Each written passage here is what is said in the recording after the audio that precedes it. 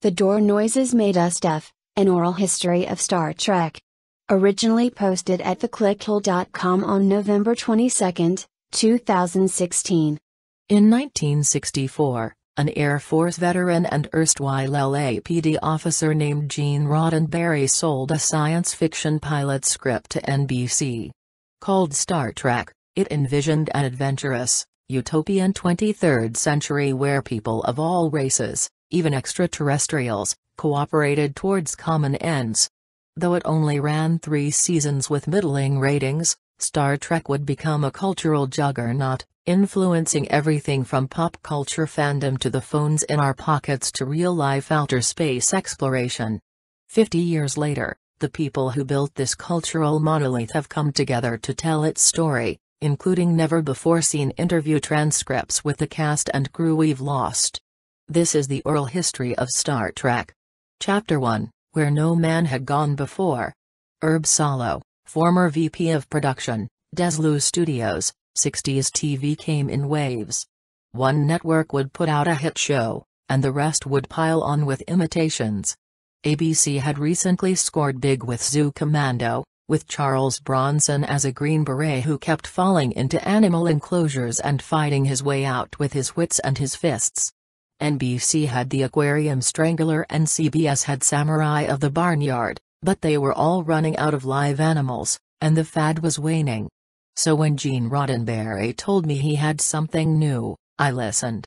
Rod Roddenberry, son of Gene, dad had lived many lives before Star Trek. During World War II, He'd been decorated for crashing his bomber into a Bavarian castle full of Hitler's most fertile mistresses. As a Pan Am pilot, he'd been promoted for crashing his cargo plane into a container ship loaded with dangerous raw eggs. As an LA policeman, he got commended for requisitioning a Cessna and crashing it into Robert Duvall's garage, presumably for a good reason. Those brushes with death gave him a real appreciation for life's possibilities. Gene Roddenberry, executive producer, 1989 interview, In outer space, there's very little to crash into, besides planets, but you can see those coming. Dorothy C. Fontana, story editor, Gene was an optimist. He truly believed that once people entered space and stopped colliding with objects, they would be able to set aside their differences, put on matching uniforms, and track down where other civilizations kept their mummies. Gene Roddenberry, Earth stopped making new mummies centuries ago. Someday we're going to run out of them, and then what? I wanted to wake people up to that, and maybe entertain them along the way.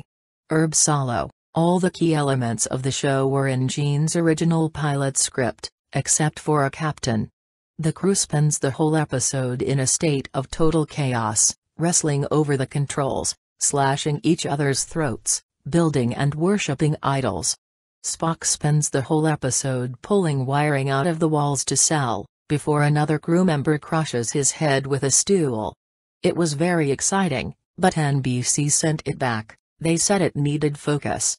Dorothy C. Fontana, we knew our captain needed to be able to command your attention. And when Bill, Shatner, walked into audition, he got our attention. William Shatner, actor, Captain James T. Kirk, I showed up to my audition in my Mickey Mouse trying to make himself throw up a bad plate of scampi t-shirt and extremely tight cowboy boots. Gene was there, wearing pretty much the same outfit, and as soon as he saw me, he stood up and shouted, yes. Matching. Yes. Of all the actors they'd auditioned, he said only I understood his vision for the future which revolved heavily around matching uniforms. Leonard Nimoy, actor, Mr. Spock minus 2008 interview. The best decision I ever made was wearing my t-shirt that had Marvin the Martian dry heaving into a potted ficus to my audition, because when Gene saw me wearing the same shirt as him, he just went wild. He said he had the perfect part for me, a dead-eyed slab named Spock who constantly points out people's mistakes and sleeps in the hallway.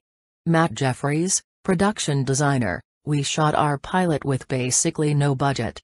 The sets, the costumes, the matching uniforms, the mummy, We had to make them out of leftover craft services scraps swiped from other NBC lots. The whole set stank like rotting meat, and coyotes kept swarming onto the lot, drawn from the hills by the stench. Leonard Nimoy, we kept having to pause production to behead coyotes. It wasn't easy, but it taught us how to work together, and how to get good leverage with garden shears. William Shatner, if you watch that original pilot, those matching coyote tooth necklaces we're all wearing? Real coyote's teeth. Matt Jefferies, a lot got figured out on the fly. I built the bridge of the Enterprise on a tilting stage, so the set could shake when the ship was attacked. All the stools would tumble to one end and bury Nichelle, Nichols, under a big heap, and we'd spend the next half hour digging her out. It wasn't efficient, but you can't fake real. Herb Solow, NBC said they'd never seen anything like our Star Trek pilot. We had our show.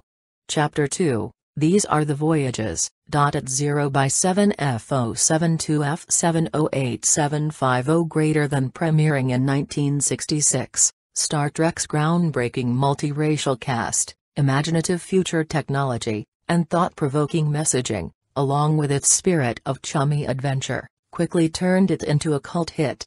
And as the cast found their footing, the show found its voice. Herb Solow, Gene always believed that we weren't just making a show, we were showing people a blueprint for humanity's future. Every episode had some piece of his utopian ideals in it. Dorothy C. Fontana, while we were writing the first season, Gene called me into his office to ask me, what brings people together? Without thinking, I said the Olympics. Exactly. He said. It dawned on me, we had the opportunity to create a world where the Olympics are always happening. So we did. We worked at least three mentions into every episode. William Shatner, I relished the challenge of finding emotion in lines like Lieutenant Uhura, open a hailing frequency with the Klingon vessel, and someone do me a favor and turn on the Olympics. It helped me grow as an actor. George Takei, actor, Hikaru Sulu, those early episodes were a blast, and they felt important. When Sulu helps Kirk build a spiral staircase for the alien race that's spent centuries living on two unconnected floors of a big duplex in as above, so below, it wasn't just a thrilling hour of television, it was showing what we can accomplish when we set aside our differences and do metaphors. Nichelle Nichols, actor, Nyota Uhura, at first, Star Trek was just a paycheck to me. Then I got a fan letter from a young black girl in Nashville who'd seen computer, call me Ishmael. Watching Uhura rewire the ship's dumbwaiter into a guillotine for a bat in case one ever got in through a window, she said she realized black women really were capable of anything. I did later find out that Gene forged that letter, but I don't think it's any less meaningful for it. William Shatner, Everyone remembers the action scenes, when Kirk kicks the face off the Andorian usurper and rips off its faceless head in onto the breach, when Kirk rams the Enterprise into the Star Goliath's chest and then gets out and kicks off its head in King David's lyre, Kirk's all-or-nothing ritualistic head-pulling off match with She Spock in Isn't That She Spock? But for me, the real Kirk, the idealist, comes out after the fight when he starts mumbling sorry and tries to stick their head back on. Rod Roddenberry, Star Trek didn't really become Star Trek until The Jester and the Concubine. If you remember, a transporter accident fuses Dr. McCoy into the swollen belly of an enormously pregnant aquatic slug beast. The crew is faced with a choice, do they cut the creature open to get the doctor out, or slide a pole in there and see if they can pull him free? But Spock convinces them there's a third way, let nature run its course. Sure enough, two years later, the slug violently gives birth to a litter of healthy pups and a healthy, well-rested Dr. McCoy. Those were Star Trek's core values in a nutshell, optimism, pacifism, and the benefits of live adult rebirth. Leonard Nimoy, those episodes were full of milestones, the first ever televised interracial kiss, the first ghost caught on camera. The first time Sevish was prepared in the US the first time I threw up and swallowed it all back down without anyone noticing. The first ghost sent to hell on camera. We were making history. Gene Roddenberry, it was important to me that the cast really understand my vision for a better tomorrow. To that end, I made them live on the show's set. George Takei, we all lived together on the Enterprise from 1966 to 1969. The best part was how close our little family got. The worst part was how the door noises made us deaf. Matt Jefferies, at Gene's insistence, I built the ship's automatic sliding doors to be fully functional. The machinery really made that signature whooshing sound you hear on the show. We did have to mix it much quieter in post-production, though, because in reality, it sounded like Godzilla's lung being punctured. Nichelle Nichols, the doors screamed open at 125 decibels which is about as loud as a motorcycle revving inside a handicap porta-john. Matt Jefferies, revving a Harley inside a porta-potty is the caviar of thrills. William Shatner, I didn't mind the howling doors because they masked the sound of me narrating my wet dreams, in what I'm told is a Casey Kasem voice. Leonard Nimoy, Spock sleeps in the ship's hallway, so Gene made me sleep in the hallway. If someone walked down the hall to the ship's one bathroom, every door would scream itself open. It sounded like hell's own pledge of allegiance, even inside my little lean-to of discarded meal trays.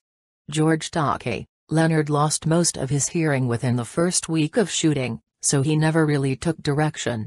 So the things that make Spock Spock came directly from him, his signature moves, the on-camera haircuts, the barnyard odor you could smell through the television and taste a little bit. Leonard's why Spock became such a fan favorite. Leonard Nimoy, the screaming doors trapped me in a prison of my own brain, and I'm still stuck there. James Doohan, actor, Scotty minus 2003 interview. Gene never told me why I was the only one who had to keep living on set after the show wrapped. But I have faith in his vision, so here I stay, Chapter 3 He's Dead, Jim. Dot at 0 by 7 F072 F708 greater than though the series gained popularity, keeping the show going proved to be no cakewalk, as ego battles between cast members and network interference threatened to bring a premature end to the Enterprise's five-year mission. Herb Solow, by the end of the first season, Leonard was getting hundreds of fan letters a week, Stuff like I smelled you through my television and rubbed myself down with Timothy Hay so I could smell just like you, Spock. And I thought it was so neat when you completed most of a front flip and landed hard on your elbows in front of the Romulan ambassador. All that attention got under Bill's skin. Nichelle Nichols, Bill couldn't stand not having the spotlight. If Chekov was giving Spock a haircut, Kirk would bust into the scene and start tugging out clumps of his own hair. When Bill found out fans were smelling and slightly tasting Spock through the TV, Kirk started turning right to camera and barking sniff me up, I'm marvelous. We didn't have the budget to shoot around him, so it all went to air. Dorothy C. Fontana, the stereotypical Star Trek episode is, the crew finds a planet where there's mummies, Kirk trades Spock for his weight in mummies, the crew rigs up a last-minute solution to get Spock back. But really, that came from Shatner pressuring us to write Spock out of the show. George Takei, Bill would pitch a fit if he didn't get his way. He even started changing other characters, just to flex his authority. Sulu was supposed to be a 9-foot-tall, 275-pound colossus of tomorrow, but Bill forced me to become much shorter so I wouldn't steal focus from him. Nichelle Nichols, DeForest Kelley was the only actor who stood up to him, so Bill had him fired. For the rest of the series, Dr. McCoy was played by a live coyote they'd caught in a flour sack, though our makeup and wardrobe team did an incredible job easing the transition. William Shatner, I'm not the narcissistic egomaniac some people make me out to be. But without Captain Kirk, there's no Star Trek. If I use that leverage to make the show's star shine a little brighter, so what? Nichelle Nichols, right in the middle of filming Atlas of Yesteryear, after a line about women's shot put, Bill calmly reached over, popped out Leonard's left eye, and smashed it with his other palm, like how a bartender smacks a mint leaf. Well, that was the last straw for Gene. Gene Roddenberry, I sat the two of them down in my office. I said, enough of this squabbling. You're a family, act like it. Bill, give Leonard your eye, and he did. He popped his own eye into Leonard's head. I said, Bill, I'm giving you my eye, because that was very big of you, and I did. When the cast found out about what I'd done, George donated his eye to me. Then Walter, Koenig, gave his eye to George, and so on throughout the cast, until just about everyone had someone else's eye in their head. Ultimately, it brought us all closer together. James Doohan, I gave my eye to the coyote in the flour sack, but Gene instructed everyone else not to give me their eye. He pointed to my head and said, the buck stops there. He was very principled. And at the end of the day, he's right. One eye's really just one fewer than two, and that's not much difference at all. Herb Solow, people loved Star Trek, but Gene and NBC just rubbed each other the wrong way. The network censors were always raising objections that having Spock live in the hallway sent the message that it was okay to live in the hallway, which for Gene was exactly the point. Dorothy C. Fontana, we used to write scenes that we knew the censors would cut, to distract them from our more controversial messaging. Usually it was a scene where Sulu silently undoes his uniform and methodically works his nipple like taffy until it dangles past his belly button, and then pulls the nipple taut and plucks it like a guitar string. Once, they accidentally let it slip past, and it ended up being a really poignant climax to the Iphigenia complex. George Takei, I miss my old, concise nipple. Leonard Nimoy, eventually, the execs decided our ratings weren't worth the headache, and they announced they were planning to cancel Star Trek at the end of the season. That's when the fans started coming out in force. Herb Solow, I was in, NBC executive, Grant Tinker's office when a well-dressed man knocked on the door. He told Grant that recently a few very aggressive raccoons had taken over his house and forced him to flee, but that watching the crew work together to send Mussolini's ghost to hell on Star Trek had inspired him to ally with his neighbors and chase out the raccoons with tennis rackets. Grant was very moved. Dorothy C. Fontana, day after day, Fans from all walks of life were showing up or sending letters with stories of Star Trek inspiring them to take their home back from marauding animals.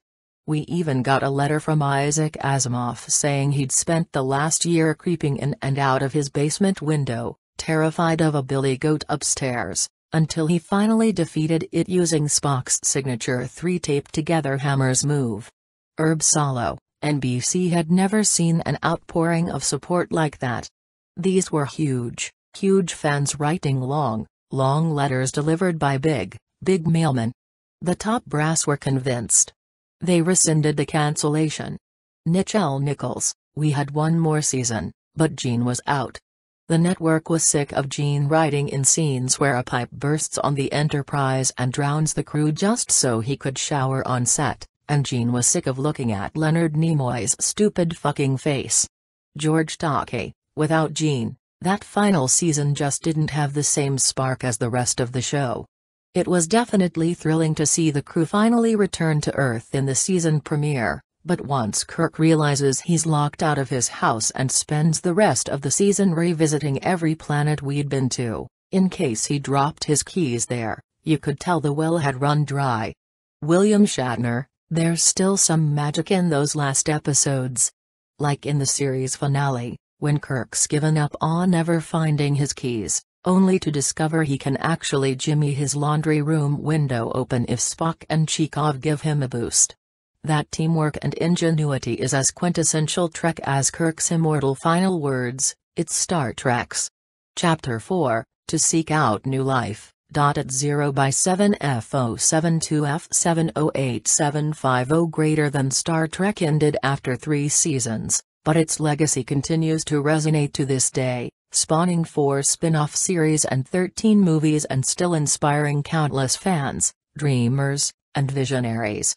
The story of Star Trek is still being told. William Shatner, Star Trek wasn't just a show, it was a whole philosophy. People don't love Star Trek just because it's got wacky aliens. They love it because the wacky aliens bonk each other with goofed up widgets while a bunch of dunces in matching pajamas yammer on and on as their doors whoosh back and forth, all to make some Dr. Seuss type point. Leonard Nimoy, I'm proud to have played Spock. Over the years, I've heard from so many fans who grew up thinking they'd go their whole lives without ever seeing Spock on television. Now, I'm old, you can see Spock in a movie, and even on some paper plates. George Takei, even 50 years later, people still come up to me on the street, plant their feet in a wide stance, point at me with both hands, and violently dislocate their jaw so their mouth dangles slack. They didn't do that before I was on Star Trek, so I have to assume it's related. Nichelle Nichols, my first Star Trek convention was a little overwhelming. It was surreal seeing fans dressed up as our nude bodies, and you couldn't walk 10 feet without someone coming up and begging you for one of your bones for their reliquary.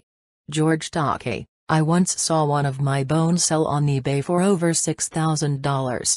It's flattering, but at the same time, geez, you know. It's just a bone. William Shatner, our fans love Star Trek so much that, in order to celebrate it, they're willing to be around people so similar to them that they could switch lives without anyone ever noticing or caring if they did. I don't understand it, but I admire it.